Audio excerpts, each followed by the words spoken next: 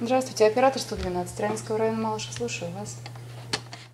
70 секунд. Ровно столько времени отводится оператору для заполнения карты происшествия. Далее экстренное сообщение передается в соответствующую организацию – полиция, скорая помощь, комитет лесного хозяйства, пожарная и газовая службы. Нередко требуется комплексная помощь. Шесть операторов системы 112 круглосуточно принимают порядка 800 звонков. По статистике участились несчастные случаи на железнодорожных переходах.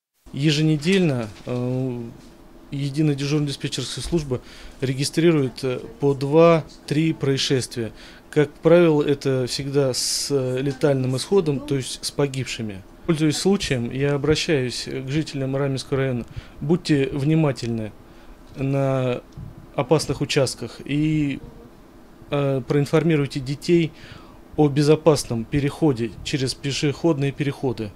Зачастую операторы не просто записывают необходимые сведения в карту происшествия, а выступают в роли психолога. Марина Юрьевна работает в системе 112 с момента ее основания, то есть два с половиной года. Говорит, сложнее всего, когда в беде оказываются дети. Мама в первую очередь должна быть спокойна, потому что ребенок очень чувствует ее психологическое состояние. То есть поэтому приходится вот объяснять это, да, даже вот такие простые вещи. Но, как правило, когда а, мы к людям а, относимся доброжелательно, и когда человек понимает, что его услышали, что помощь обязательно придет, а, он успокаивается, и, соответственно, ситуация как бы разворачивается уже по более такому спокойному и хорошему сценарию. Нередко поступают обращения, связанные с проблемами работы жилищно-коммунального хозяйства. Но все же стоит помнить, что набрав номер 112, человек должен решить жизненно важную проблему, например, запуск тепла. Сейчас э, такая пора, э, осенне-зимний период начинается, запуск тепла. Вот. Э, у нас этот вопрос находится на контроле постоянно идет взаимодействие как с администрацией, с управлением коммунального хозяйства. Вот. Э, процесс этот не мгновенный, скажем так, нужно определенное время для заполнения системы, ну, своей тонкости. Вот. Э, людям эта информация доводится, но ну, в любом случае раз, э, раз в сутки информация уточняется по адресам и объектам.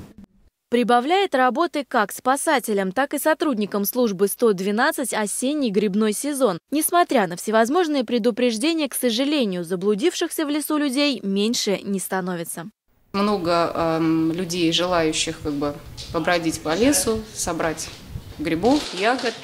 Вот. И поэтому, конечно, часто такие случаи, когда люди теряются. Если с собой мобильный телефон, то вот как вы поможете? А геолокация у нас существует, да. То есть вот у нас есть такая карта, и мы включаем э, поиск, и тогда мы определяем примерное местонахождение человека.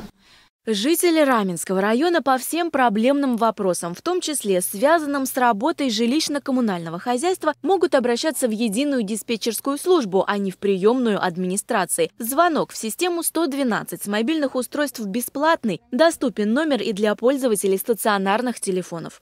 Екатерина Алафимова, Алексей Гущин для программы «Городские вести».